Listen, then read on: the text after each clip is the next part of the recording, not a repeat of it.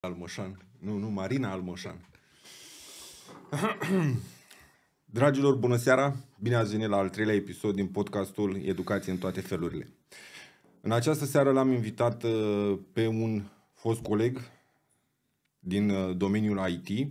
Bine ai venit, Raul Fușcaș. Salut! Te-am greșit? da. Bineînțeles că mi-ai, mi-ai făcut observație și mi-ai fus caș. Da, de, de la fusorar și caș ca brânza. E foarte simplu, e un nume destul de dificil și atunci am trăit cu explicația asta mai toată viața mea. Și de mai nou de când am venit în București și cu explicația că numele meu e Raul, ca Paul, nu Raul. Raul este director IT la Cora România și noi am lucrat împreună pe mai multe proiecte. L-am adus aici în ideea de a clarifica niște subiecte uh, și totul a plecat de la o nuntă. Eu având trei copii, acum lumea ca să-și scoată părleala cu mine de la botezuri, ne invită peste tot. Și eram la masă, el am zis că lucrez în IT. Și a fost la mod ok, da, ce faci, duci cafele? Ce... Că nu prea arăța programator. Și atunci, de aici mi-a venit ideea să vin să te întreb prima oară ce este IT-ul. Este doar programare sau se mai întâmplă și altceva? Da, ăsta e un subiect destul de vast, ca să zicem așa. Uh, îmi place să le explic tuturor oamenilor care vor să interacționeze cu domeniul ăsta că IT-ul poate fi orice și să nu le fie frică de el. Pentru că, în fond și la urmă urmei, e făcut de oameni. Sunt niște calculatoare, niște programe făcute de niște oameni. Uh, majoritatea, când dau de IT, se sperie. Ei tot toți văd acel ecran negru ca în Matrix, schizi un command prompt și deja ești deja hacker. Dar uh, nu e cazul. Uh, IT-ul, mai ales în zilele noastre, este destul de vast. E de la poziția de comercial, care nu implică absolut nicio componentă tehnică, până la poziția foarte tehnică, cum spuneai tu mai devreme, cea de programator, unde ești skill-based, ai în spate tot ce trebuie să faci primit cu specificații de la analiști, te organizezi în tot felul de meeting-uri și te asiguri că la finalul zilei obiectul pe care trebuie să-l scrii l-ai scris și funcționează conform specificațiilor date. Bun. Spunem cum ai ajuns în poziția asta de director IT, mai ales că ești atât de tânăr. da, acum nu mai sunt uh, chiar așa de tânăr. Uh, mie tot timpul mi-au plăcut calculatoarele. Uh, încă de mic, uh, de la prima mea interacțiune cu calculatoarele de, de pe la vreo 5 ani, am zis, uai, ce fain ar fi să lucrez pe calculator toată viața. Habar n-aveam ce scrie acolo, pentru că pe vremea aia Windows-urile erau doar în engleză. Nu știam prea multe engleză. Prima mea interacțiune cu engleza a fost de la Cartoon Network, ca să zicem așa. Ca la noi toți, că acolo ne-am exact. educat. Și, normal, jocurile pe calculator. Uh, de acolo s-a și dezvoltat pasiunea mea pentru calculatoare. Uh, urmând ca undeva, nu știu, prin clasa 5 6 să fac primul meu calculator din tot felul de componente pe care le primeam de la mama și de la tata, de la diversi prieteni și așa mai departe.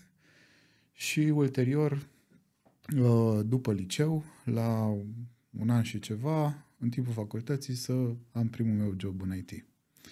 Uh, primul meu job în IT a fost un tehnician IT, la, tot la o companie de retail. Mufăm și... cabluri, Exact. Tragem, Reparăm imprimante, schimbăm tonere, mutăm date de pe un calculator pe altul. Acolo, spre surprinderea mea, să aflu că IT-ul de acasă nu se potrivește cu IT-ul de la lucru. Uh, cum aveam un mentor la care îi plăcea foarte mult să folosească cuvântul ăsta de, de SOHO, de Home, home Using Computing. N-are nicio treabă cu Enterprise Computing. Uh, singura componentă comună, ca să zicem așa, e poate sistemul de operare în anumite cazuri, și calculatorul pe care lucrezi. În rest, diferă foarte mult IT-ul de acasă cu cel de la lucru. Ce facultate ai terminat? Uh, nu am terminat nicio facultate. Uh, am început două facultăți, Politehnica și Psihologie, dar din motive de familie și așa mai departe, am decis să mă concentrez foarte mult pe area profesională și n-am mai sfârșit să îmi dau licență sau altele. Foarte tare. Da. Grant work. Da, ca să e, și uh, mi-a, mi-a plăcut la explicația ta că ai folosit un cuvânt foarte mare pe care eu uh, încerc să le explic oamenilor că și așa se poate învăța, respectiv mentor. Da, uh, pentru mine a fost un lucru foarte important, pentru că eu o foarte mare parte din cariera mea am avut așa un complex că nu am terminat și eu facultatea ca restul colegilor mei. Aveam un coleg în echipă care era avusese chiar două doctorate în, în domeniul ăsta informatic și cu toate astea, când trebuia să facem treabă cot la cot, de multe ori nu performa. nu performa sau nu voia pentru că el avea doctorat, nu trebuia el să știe să configureze tot felul de aplicații și așa mai departe.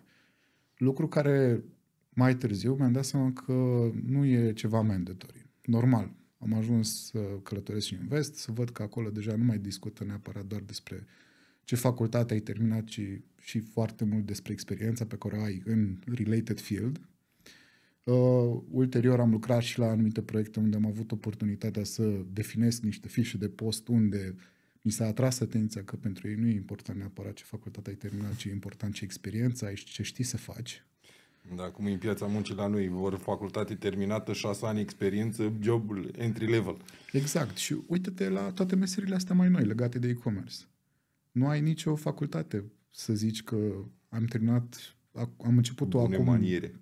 acum, acum foarte mulți ani și mi-am făcut și master în ea și de astăzi sunt specialist pe e-commerce. Nu, toate pozițiile pentru toate domeniile astea noi se formează și se creează în timp. Da, asta le-am explicat și eu cursanților mei că mă întreabă, ok, cum ajungi să fii manager de proiect? Și le zic, bă, este o singură facultate, să-i spunem cu ghilimele, care face chestia asta. Zic, ca manager de proiect ai o singură sau două opțiuni. Fie se deschide un post la un moment dat și încerci să aplici ce în compania respectivă te știe lumea, îți dă o șansă mult mai repede sau pur și simplu Uh, cum a fost în cazul meu, de fiecare dată când întreba cineva uh, cine vrea să facă, ridici mâna, zici eu, eu, eu, eu. Și la un moment dat începi să găsești toate uh, punctele de pe un proiect, le unești în capul tău și zici, a, ok, încep să învăț cum se managește de la un capăt la altul, îți dai certificări ca aparent și aparent, de fapt, mult mai mult contează, am văzut în majoritatea joburilor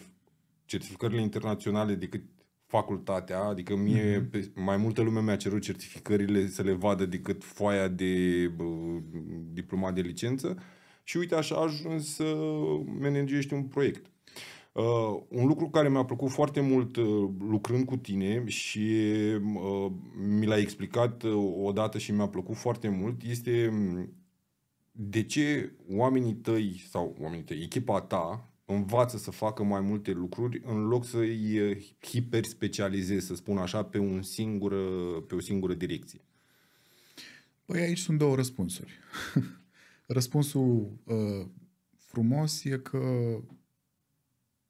oamenii în general, mai ales în companiile românești, poartă mai multe pălării. În general, vei vedea că în companiile mici, uh, genul de departamente cum ar fi IT-ul sunt la fel ca și departamentul tehnic, ca și orice alt departament, nu știu, securitate și așa mai departe, unde nu îți permiți sau bugetul nu îți dă flexibilitatea să, să hiperspecializezi resurse la nivel de nevoie. Și atunci un om care, nu știu, vorbim despre domeniul tău, da? care e project manager, trebuie să îndeplinească și atribuții de business analyst, trebuie să îndeplinească și alte atribuții care nu sunt da. neapărat în job description-ul lui. La fel e și pe componenta tehnică. În IT e puțin mai interesant pentru că ai acel domeniu de suport. Domeniul de suport, după cum putem vedea în ultimii ani, a evoluat de la call center, care era prima formă de suport. Catch and dispatch. Exact. Uh, până la service desk, până la uh, Service Desk Level 2, uh, Service Desk Level 3 și așa mai departe, în funcție de cât erai de specializat pe aplicațiile pe care știai să oferi suport.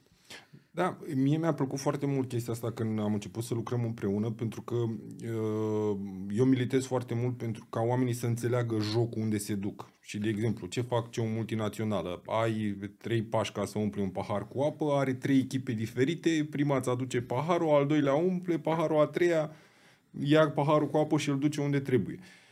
Pentru și... că cât ești mai mare, cu atât trebuie să fii mai, mai uh, organizat din perspectiva pașilor. Dar asta vine cu un dezavantaj foarte mare, care e și asumat, desigur, uh, flexibilitatea. Da? Și... Pentru că ne uităm la un mușuroi de furnici, care împreună pot face o groază de lucruri, dar ne uităm în același timp la, nu știu, un elefant că de multe ori se și folosește da, expresia asta, care poate foarte greu să facă o schimbare în absolut orice, orice privește, Da. pentru că e mare. Și cu cât e mai mare, se mișcă mai greu. Furnicile, în același timp, le- le-ai stricat mușuroiul sau le-ai pus să facă un mușuroi pe plajă, la fel de ușor poți să-l facă în pădure sau...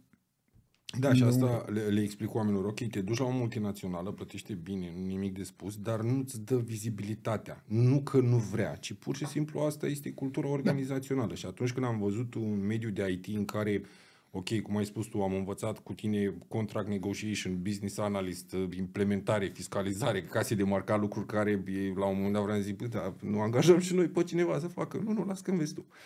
Uh, îți dă o experiență foarte mare. Da. Și- Și asta uh, vine cu întrebarea următoare, care eu, mie mi se pare că m, ne dezavantajează pe noi, să-i spunem, uh, angajații sau oamenii care vrem să căpătăm o experiență uh, în momentul în care pleacă lumea. Adică, la un moment dat, era un tip care era la suport în echipa ta, era de, nu știu, 3 săptămâni, 4 săptămâni, el a plecat în altă parte pe ofertă, chiar l-am întrebat la țigară, cu 500 de lei mai mult. Și am zis, unde pleci? Păi, plec că nu-mi dă mai mult. Și zic, ok, hai să pleci, te duci în altă parte și în loc să înveți ceva, să capeți o experiență, tu fugi după 500 de lei, următorul îți mai dă 500, următorul îți mai dă 500 și 10 ani mai târziu, tu în loc să ai o experiență de muncă bună, tu ai să înveți să faci singularitate pe domeniul tău. Și atunci vin să te întreb, cum combați chestia asta să le explici oamenilor că, băi, e mai mult de muncă la mine în echipă, dar vezi tu când termini sau 5 ani mai târziu, tu ești doc să știi și faci lucruri. Nu o combat. Le-o spun foarte franc de la bun început. Dacă mai ții minte și prima noastră discuție, acel telefon când uh, te-am sunat, ți-am spus foarte clar de la bun început despre ce e vorba. Am fost foarte sincer cu tine, pentru că e foarte important să trasezi așteptările corecte. Și oamenii în viață au două alegeri de făcut. La fel ca și cum nu toți cei care termină medicina sunt doctori care operează, mai avem nevoie și de oameni care vând medicamente sau care Corect. lucrează în științele conexe medicinei, dar e nevoie să termine medicina. Nu toți care termină Politehnica sunt ingineri și așa mai departe. Mai avem și nevoie de oameni care lucrează la companiile, care proiectează și așa mai departe, dar în job description ei trebuie să înțeleagă anumiți, tehnici, uh, anumiți termeni tehnici pe care uh, ți explică în facultate sau măcar te familiarizezi cu vocabularul respectiv și așa mai departe. La final, dacă pleacă, eu tot timpul când a plecat un om, i-am spus părerea mea sinceră, dacă f- e sigur, îs- de așa natură încât să mă asigur că înțelege ce pas face. Am avut oameni, sau chiar eu, pot să mă dau pe mine ca exemplu, am avut un moment în cariera mea în care toți colegii mei au plecat la o corporație foarte mare pe un salariu, salariu aproape dublu. Și m-am trezit că pot și eu să fac aceeași alegere ca și ei. Dar văzând în perspectivă, eu mi-am dat seama că nu vreau asta. Eu vreau să învăț să cresc, să pot să acapărez cât mai mult posibil ca să ajung unde voiam eu să ajung. Eu, visul meu era să ajung CIO până la vârsta de 30 de ani. Și în niciun caz, pentru mine, banii nu erau un factor uh, de- decizional și motivant de așa natură încât să, să mă facă să schimb uh, jobul doar din, din, prin prisma lor. Tot timpul am avut mentalitatea că, băi, prima oară eu trebuie să muncesc, trebuie să învăț să muncesc, Să dovedești. să, să dovedesc și după aia pot să mă duc să îmi cer banii care, pe, pe, pe care consider eu că îi merit. Da, este un fel de investiție în tine. În loc Exact, să... exact. E ca și varianta în care alegi să mergi la școală pentru că nu poți sau nu te duce mintea să stai să fii autodidact sau poate nu ai capabilitățile necesare să fii autodidact, să te pui tu să te documentezi, să înveți singur, să cum sunt atâtea cazuri de copii în ziua de azi care se uită la tot felul de desene japoneze, care învață s- japoneza din desenele respective, cum eram și noi la rândul nostru, care învățam engleza din Cartoon Network, Uh, la fel se întâmplă și cu tehno- tehnologia. Am văzut cazuri de, de oameni care au terminat profesional auto și astăzi sunt programatori în PHP care și-au depășit inclusiv mentorii. Pentru că au fost autodidacți, au vrut să facă chestia asta și asta a fost alegerea lor. Asta presupune un sacrificiu. Sacrif- presupune un sacrificiu care poate fi de mai multe feluri, inclusiv financiar. Băi, la început prefer să stau pe o poziție poate mai slab plătită, dar mai bogate din, prin prisma experiențelor pe care, sau lucrurilor pe care pot să le învăț. Da, exact sfatul ăsta l-am dat eu unui băiat care a venit la mine să îl ajut și tot așa pe partea asta de mentorat și am zis, uite, fă cursurile astea, că uh-huh. tot în, întâmplător în programare vrea să el se ducă și zi, aplică la tot ce înseamnă orice firmă care te ia, că internship, că îți dă 1000 de lei, că îți dă, te bagă în seamă, zic, du-te acolo un an, doi, trei și uh, învață experiență, pentru că capătă experiență, nu învață. Pentru că în altă parte nu, nu o să fie nimeni dispus să te ia neștiind nimic. Ca... Exact. Pentru multă lume contează foarte mult experiența pe care o ai. Ultimele mele joburi, ultimele două joburi pe care le-am, le-am, uh, le-am avut, le-am avut strict prin prisma experienței. Deci, adică în primele trei fraze din discuția pe care am avut-o, a fost pe, am văzut că ai făcut și chestia asta. Și am fi curios să aflăm mai multe detalii dacă poți să ne oferi. E foarte simplu. Exemplu, o să, am să folosesc uh, obiectul ăsta ca să, să, să-ți explic ceva foarte mișto. E un lucru care m-a ajutat foarte mult să mă ghidez încă de tânăr. Am avut oportunitatea ca la, nu știu, 19 ani să învăț chestia asta. Și ăsta a fost lucru care m-a ghidat și am încercat să-l dau la toată lumea.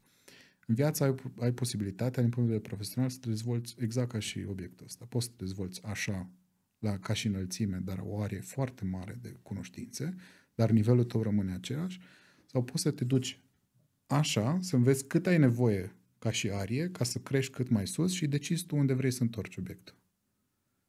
Aici e ultra hiperspecializarea aia de care ziceai tu. Alegerea îți aparține. Poți să faci la început, poți să faci mai târziu. În cazul meu, pot să zic că am fost destul de norocos să fiu expus unor situații care, pe, pe care nu mulți directori IT sau CIO au avut oportunitate poate de multe ori să se întâlnească toată viața. Am cunoscut CIO care n-au făcut în viața lor un rollout de casă de marcat, o schimbare de soluție sau o schimbare de ERP sau chestii de genul ăsta. Nu toată lumea are oportunitate de a învăța chestia asta. Asta le explic tuturor oamenilor și colegilor cu care lucrezi. Foarte important să realizezi unde ești acum și ce îți poate oferi. Get your best out of it. E simplu. O, o altă chestie care mi-a, mi-a plăcut și am văzut-o la tine, care ai făcut-o, să spunem așa, sistematic de-a lungul anilor, uh, ai promovat foarte mult din interior. Și am văzut uh, cel puțin trei cazuri care au fost uh, apropiate de mine, care au evoluat uh, fulminant în ideea în care au început, uh, să-i spunem așa, foarte jos, 2-3 ani mai târziu au putut să-și dubleze, chiar să-și tripleze veniturile, da. stând și învățând chestia asta cum faci să alegi pe care om îl promovezi pentru o anumită poziție sau zici, bă, pentru poziția asta e mai bine să aduc uh, din afară pe cineva direct pregătit? Păi aici depinde foarte mult de poziție. Dacă vorbești de, de o poziție care e tehnică, care e pur tehnică, Programator uh, un om, senior, da. da. Din punct de vedere tehnic vorbind, un om poate să ajungă la un anumit nivel în funcție de munca pe care o depune.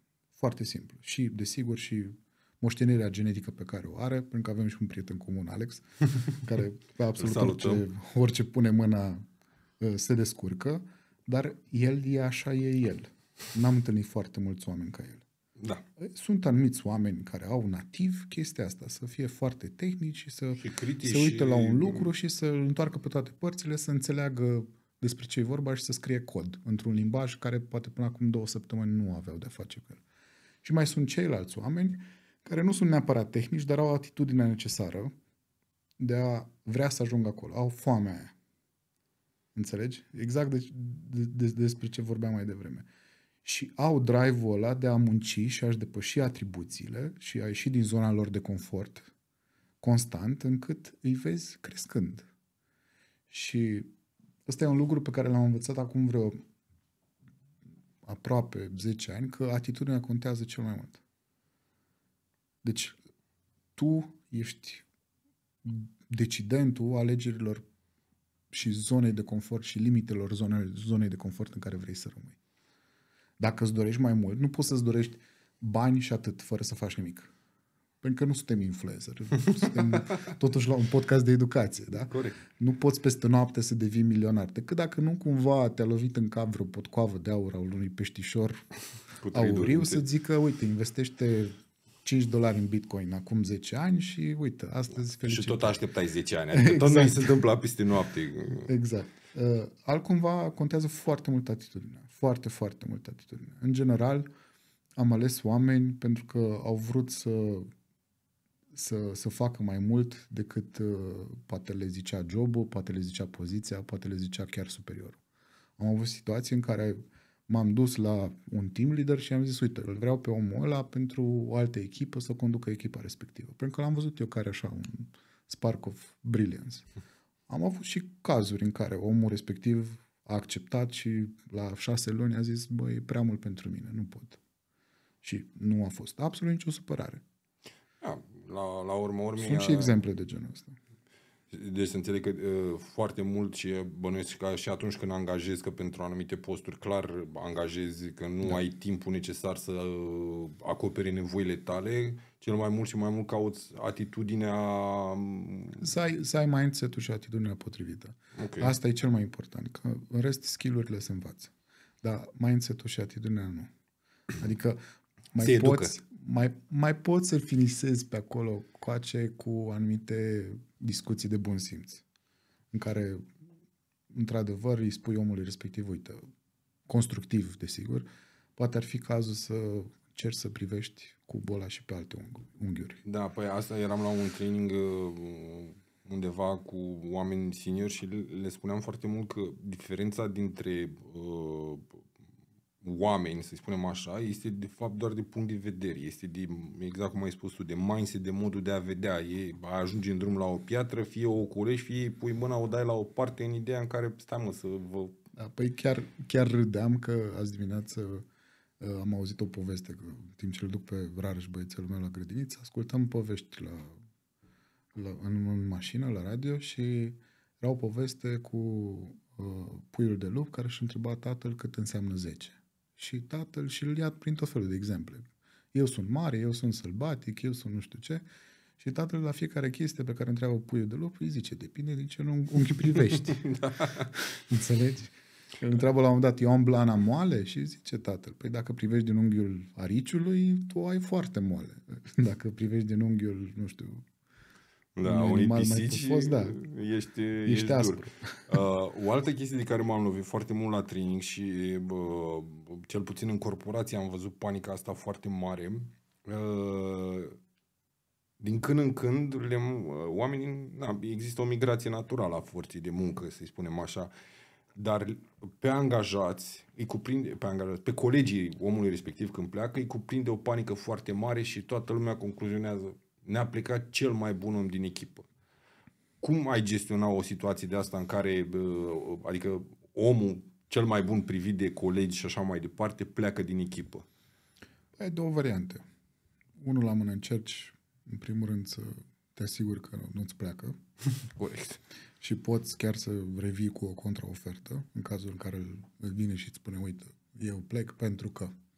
Desigur, dacă e vorba de o chestiune financiară, atunci o poți mitiga așa. Uh, sau, dacă pleacă și nu ai cale de întoarcere, fie că oricum nu ai cum să-i dai banii aia din perspectiva bugetului pe care îl gestionezi, sau poate că omul respectiv chiar nu valorează atâta. Pot să dau un exemplu. A plecat la un moment dat din echipă un, un uh, analist de sistem care pur și simplu a primit o ofertă dublă.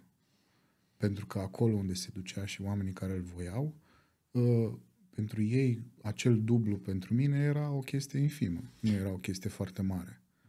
Dar pe partea asta altă, la mine, poți să te uiți să vezi, odată, cât te costă să angajezi omul respectiv, după aia, asta în cazul în care vrei să-i faci o contraofertă, cât te costă tot procesul ăsta de căutat om, angajat, găsit, făcut ofertă și așa mai departe, Desigur, să te uiți și pe piață să vezi dacă nu cumva ai salariile mai mici decât media, Piața. me, media pieței. Uh, Să te asiguri că raportarea la media pieței e corectă, pentru că în multe cazuri, îți dau un exemplu, noi când lucrând în retail, în retail nu sunt cele mai mari salarii. Dar în același timp, uh, fiind cazul de un departament specializat pe tehnic, cum ar fi IT-ul, nu te poți raporta la studiu salarial din piața de retail pe IT, pentru că de multe ori putem observa în piață decizii ale firmelor de IT de a externaliza într-o companie din același grup care e specializată pe IT și unde oamenii respectiv plătesc conform pieței chiar mai mult ca să se asigure că au toate resursele Da. in place. Și după aia, mai departe, te poți uita la dacă poți sau nu să externalizezi poziția respectivă sau efortul respectiv. Uh, În același timp, la chestia asta ar fi bine și sănătos pentru tine ca manager să te uiți constant la treaba asta. Pentru că așa îți poți și calibra performanța oamenilor de la tine din echipă. Am avut situații în care, în cadrul acest, ace- acestui exercițiu, am dat seama că am avut juniori în echipă de 5 ani de zile care erau nu că mai nerentabil, ca să zicem așa, versus a, Mai costisitori. a externaliza efortul respectiv. Erau chiar de două ori mai costisitori decât de a, decât de a externaliza efortul respectiv de, nu știu, bug fixing, care necesita două zile. Da, eu întotdeauna îmi încerc să le explic la chestia asta, zic, ok, ce înseamnă ci- îți pleacă un om foarte bun?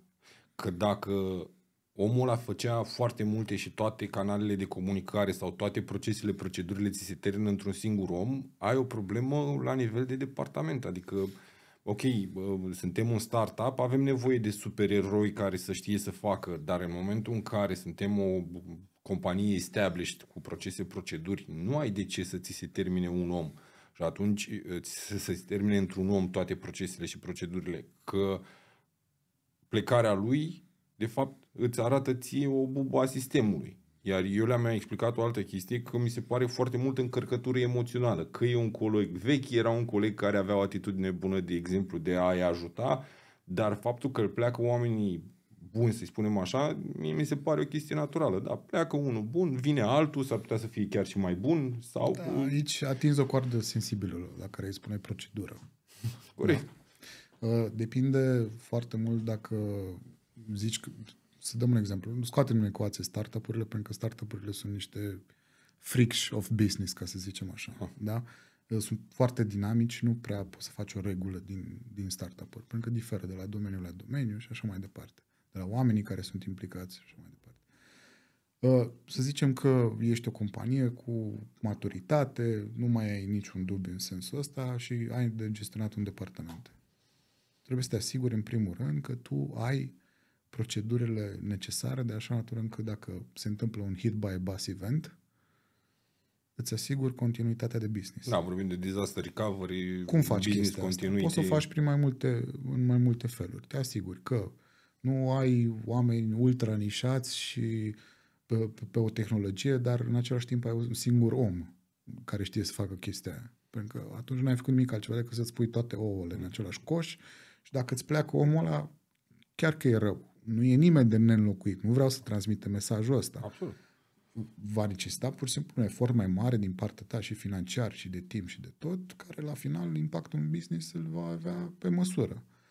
Sau putem să ne mai gândim în sensul în care, nu știu, ai echipa de suport, că vorbeai mai devreme de ea, da? În cadrul echipei de suport, uh, te pui și îți faci pro- toate procedurile de suport de care ai nevoie. În general, procedurile de suport de care ai nevoie sunt alea ca să-ți țină business-ul pe linia de plătire. Cum rezolvi problema cu aplicația aia dacă am eroare asta, îți faci frumos un catalog și așa mai departe. Asta n-ai să întâlnești foarte des. Am Pentru văzut. că odată ce s-a întâmplat un proiect, toată lumea merge mai departe. Nimeni nu vrea să stea să facă hârtii. Uh, Nimeni nu vrea să stea să facă proceduri. Nimeni nu vrea să stea să scrie. De aia în cumpăra- corporațiile mari de care povesteai tu mai devreme, de cei mamuți tehnici, o să vezi că sunt oameni care au jobul de bibliotecari. Da. Deci ăsta e jobul Knowledge lor. management. Deci sunt oameni care au jobul de a scrie, sunt oameni care au jobul să corecteze sau să revizuiască ce au scris da. Da. cei scriitori și alții care să stea să indexeze. Ah, uite, procedura asta merge la capitolul 14 din paragraful X pe aplicația Y.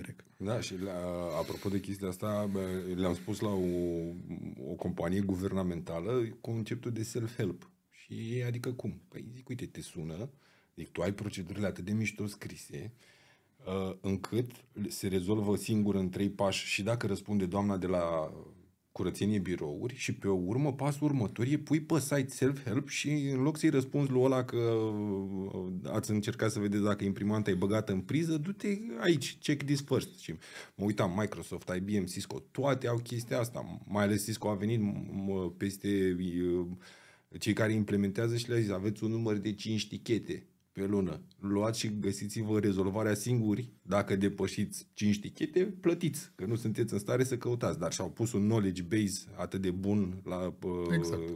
pentru oameni, încât n-au, n-au încotro. Te gândește că ești angajat nou într-una din companiile astea Big Four și nu vine nimeni să-ți configureze calculatorul. Adică tu îl primești într-o cutie și primești o foaie A4 zici, pasul 1, faci asta, pasul 2, faci asta. da, exact. Nu te pui și suni la IT, alo, vină și configurează și mie imprimanta. Nu există așa ceva. Adică da. organizarea aduce la un asemenea nivel încât pur și simplu știi singur să, conform procedurii de sigur, să-ți instalezi imprimanta, să faci troubleshooting la ea, să-ți configurezi clientul de mail și așa mai departe. Desigur, în spate toată treaba asta necesită un anumit efort din da. partea departamentului tehnic care face automatizările necesare și așa mai departe. O altă chestie pe care am remarcat-o la tine și întâi te întreb părerea ta și pe urmă îți dau exemplu unde am văzut-o. Este acum la modă, mai ales cu LinkedIn-ul ăsta în care nicio secretară nu mai e secretară, e executive assistant, CEO, deputy, da. manager, nu știu ce. Uh, servant leadership. Ce părere ai despre chestia asta, despre principiul ăsta? Nu înțeleg exact la ce te referi. Uh, ai, ai, ai văzut New Amsterdam? Da. Lasă la o parte mizeria de sezonul 3 care e incredibil de slabă, dar la început el vine și întreabă how can I help? El ca directorul spitalului nu vine și îți spune ție angajat foaia, foaia, da, foaia. Da, da, da, da. Vine și întreabă ah, how serve, can I help? Servant leadership. Servant okay. leadership, da. Da. Uh, e o chestie de mindset. Niciodată nu nu m-am poziționat în, în direcția în care eu sunt IT-ul și voi faceți cum vă zic eu. Uh, ce nu înțeleg foarte mulți IT-ști e exact exemplul pe care îl spuneam mai devreme, pe care îl repet și colegilor mei, noi și așa de mai departe. Noi suntem în slujba clienților noștri interni. Fie că e departamentul financiar, fie că e departamentul operațional, fie că sunt colegii de la legal și așa mai departe. Noi suntem aici să ne asigurăm că ei își fac treaba cât mai bine, cât cu mai puține probleme și că se leau e Dumnezeu. Adică disponibilitatea serviciilor pe care le accesează prin intermediul departamentului nostru e maximă dacă se poate. Nu există 100%, dar e maximă dacă se poate. Și în primul rând e asumată. E asumată față de noi. Asta e foarte greu. Pentru că, în general, mai ales IT-știi, la fel ca și mulți alți oameni mai deștepți, poate, decât media sau mai plini de ego, ca să spunem așa, uh, tind să se vadă deasupra oamenilor pe care îi servesc. Dar, exemplu foarte simplu. Dacă ei n-ar avea nevoie de voi, voi nu ați da. fi aici. Mie mi-a plăcut foarte mult, a fost o ședință, ne-ai băgat pe toți în ședință, eram de, managerii de departament, managerii de proiect și ne-ai zis așa, bă băieți, uitați, avem astea cinci proiecte pe care trebuie să le facem anul ăsta. Voi decideți pe care le facem, cum le facem, în ce ordine. Și ne-am certat noi acolo, nu că pe ăsta, nu că pe ăsta, nu că pe ăsta. Toată lumea își dădea cu părere, s-a luat o decizie, și pe urmă am ieșit cu toții victorioși că s-a decis, s-a implicat. Și pe urmă stau eu și mă gândesc la birou, zic, băi, uite cine a făcut, uh, zic, hair director. Zic, ne-a pus să ne batem singuri și el, de fapt, oricum trebuia să facă toate proiectele anul viitor. Dar noi, pentru că am decis noi ordinea și proiectele, suntem atât de victorioși încât dacă vinea și ne spunea, uite, astea le facem, le și facem, toată lumea era cu, hu, exact. că ne omori, că ăsta și încât la un moment dat chiar ai spus o chestie, bă, vedeți că sunt cam grele toate sau astea două în perioada asta. Nu, nu că noi le facem și eram la modul, bă, ne și bă, tu ne-aș lua banii, zic, stai un pic, și de ce suntem fericiți? Zic, pe urmă am, am tras concluzia, zic, uite mă, zic, un exemplu de servant leadership bun. Nu, pavilionul nu ne-a impus nimic, a zis, voi hotărâți, voi faceți. Da, și trebuie noi să le eram, facem pe asta, da. Noi eram foarte bucuroși că s-a întâmplat E chestia asta. foarte important. Dar uh, asta implică foarte mult efort din partea asta. altă. De ce? Pentru că, în primul rând, trebuie să am încredere în voi. Da? Uh, dacă eu nu am încredere în voi, eu, eu nu vă pot cere vouă să aveți încredere în mine. După aia, uh, niciodată să nu vă cer ceva ce eu nu aș face într-un anumit timp. De aia și fost atenționarea respectivă. Atenție că astea două sunt destul de complicate și ar însemna un efort suplimentar din partea voastră. Da? Și nu în ultimul rând, nu am lucrat niciodată singur. Nu am crezut niciodată că directorul e cel care și centrează și dă gol și bate out și toate cele. Nu, scuze, audiențe, nu prea le am cu fotbalul. Dar, în general, orice om care conduce o echipă e suma oamenilor pe care îi conduce și pe care îi ajută. Tot timpul m-am poziționat față de colegii mei, colegul lor. Desigur, îmi asum tot ce fac ei, mă bat pentru toate nevoile lor, dar la finalul zilei facem toți împreună chestia respectivă și o facem asumată. Da? Nu purtăm o discuție de genul vine cineva la mine și zice avem o problemă și se uită cu gura căscată la mine. Ok, bun, avem o problemă, hai să vedem ce putem să facem ca să o rezolvăm. În general, cam toate colaborările pe care le-am avut au fost cu un demn către colaborare, către independență, către a preveni incidentul ăla în cel mai bun mod posibil, lucrând împreună. De aia toate, brainstorm, toate ședințele de brainstorming la care ai asistat au fost în direcția asta. Guys, trebuie să ajungem acolo. Eu vă desenez ideea mea. Da? Poate aseară am visat ca și Martin Luther King. I had a dream. și vă desenez poza cu căsuța, cu copacul, cu câmpia, cu soarele, cu norii, ce frumos, peisajul final. Da? Cum ajungem acolo? Că noi acum suntem în plantația de orez sau, nu știu, poate suntem în pădure, nici nu vedem câmpia. Și așa mai departe. Și împreună lucrăm să definim fiecare pas în parte. Ca la final toată lumea să participe, ca toată lumea să-și asume și să se simtă responsabil de munca și ideea la care, cu, cu care a contribuit să facem lucrul respectiv posibil.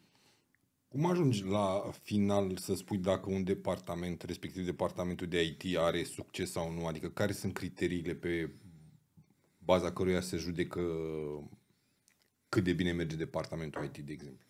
Păi acel SLA. Ok. E foarte simplu. E matematică dacă e să o spargem.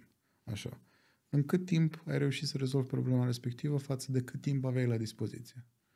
După aia, cât de eficient ai fost să faci chestia asta, calculând la numărul de oameni pe care l-ai, calculând la numărul de proiecte pe care le-ai avut în curs, calculând dacă ți-ai depășit sau nu KPI-urile pe care le aveai tu setate ca și departament, în primul rând față de business. Din păcate, de multe ori în România e să vezi că foarte multe echipe nu au conceptul ăsta de KPI. Nu înțeleg. Am văzut oameni în suport cu vechime de 20 de ani care nici măcar nu înțelegeau cum ar trebui să-și calculeze ei eficiența. Nu e absolut nicio problemă chestia asta, pentru că diferă suportul la companie la da. companie. Dar asta nu ne ajută neapărat să evoluăm. Da? Și automat dacă vrei să evoluezi, tot timpul tu ca manager sau ca lider ar fi bine să-ți ții niște măsurători acolo. Da, asta le zic la cursuri, tu, la toți oamenii la cursurile de ITIL. Ca să poți controla ceva, trebuie să măsori. Exact.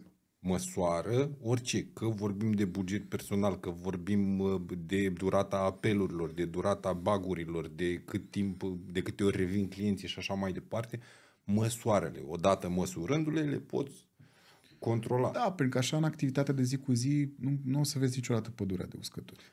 Da. Pentru că tot timpul o să ai ceva de făcut, tot timpul o să fii stresat, tot timpul o să sune telefonul. O să sune telefonul, tot timpul o să vină cineva, hai să mă ajuți pe mine repede și așa mai departe. Pentru că din perspectiva clientului, adică celui care raportează ceva către departamentul IT, el nu o să vadă niciodată celelalte probleme.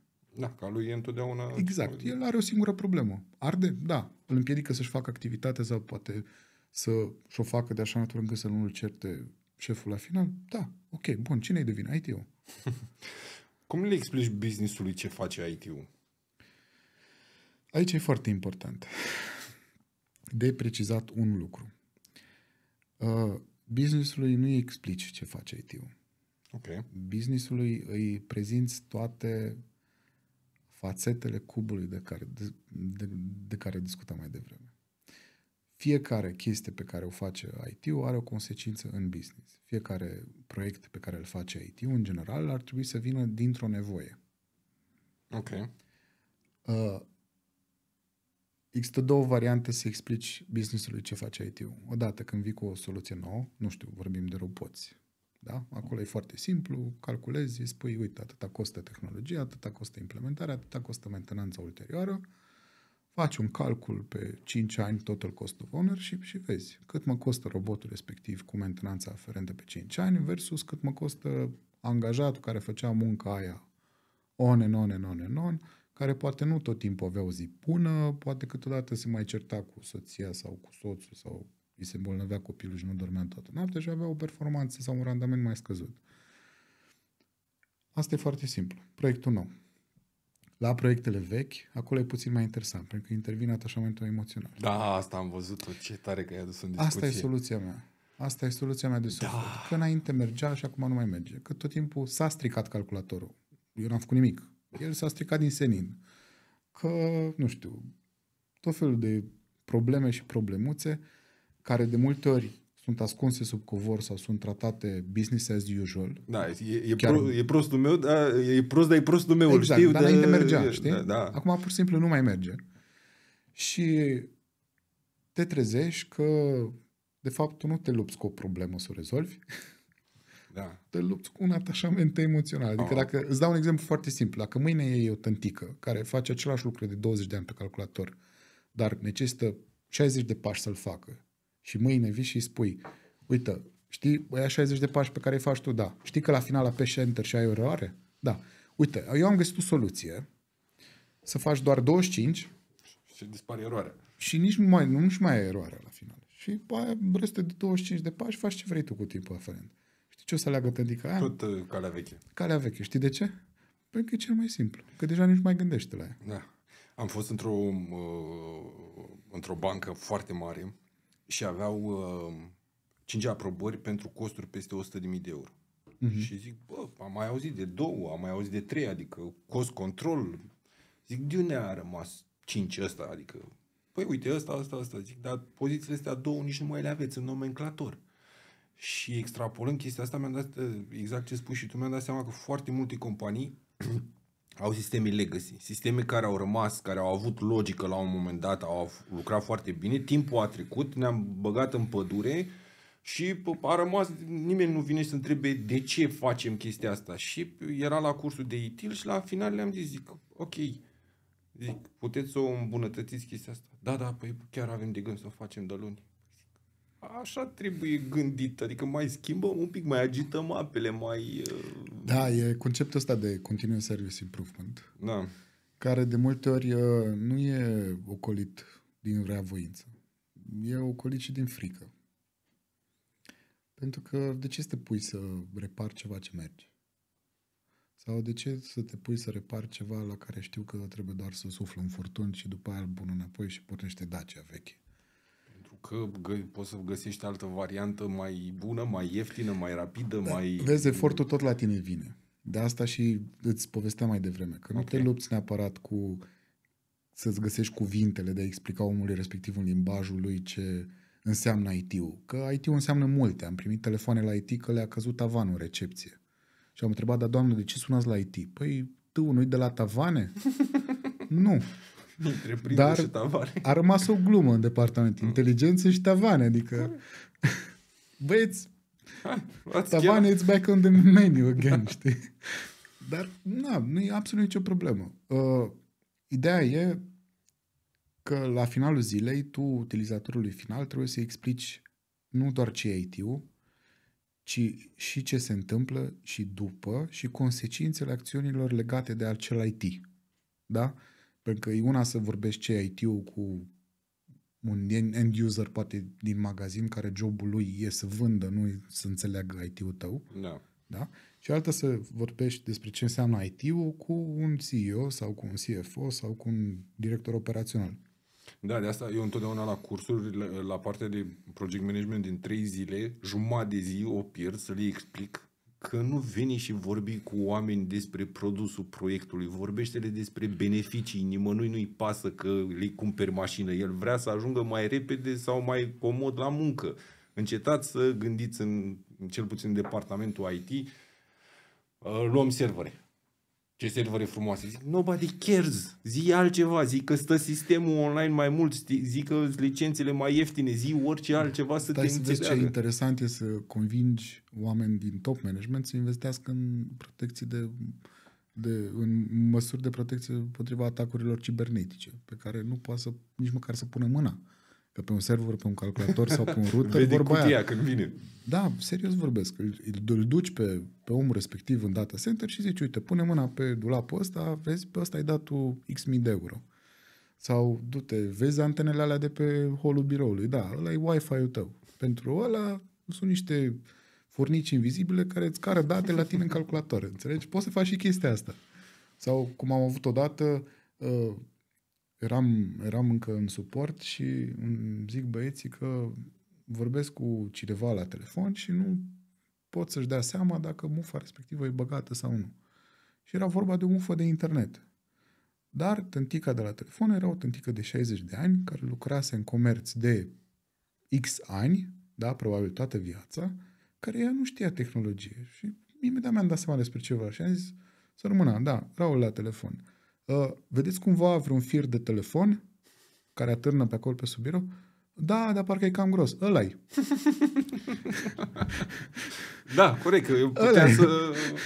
Îl băgați în calculator. Vedeți, dacă întoarceți puțin unitatea, are un singur loc unde intră. Nu e ca pe vremuri cu mufele alea de PS2 care și mouse-ul și tastatura Da, da, era era ușor la să le fel. confunzi și le băgai pe dos. Și cam la asta se rezumă. Adică am avut inclusiv discuții cu, cu C-level execs, care treaba lor nu era să știe IT, treaba lor era să aibă grijă de business, în care a trebuit să le fac o diagramă cu componente din data center, magazin și așa mai departe, colorate. Verde înseamnă că e bine, ă, roșu înseamnă că e foarte vechi și trebuie schimbat.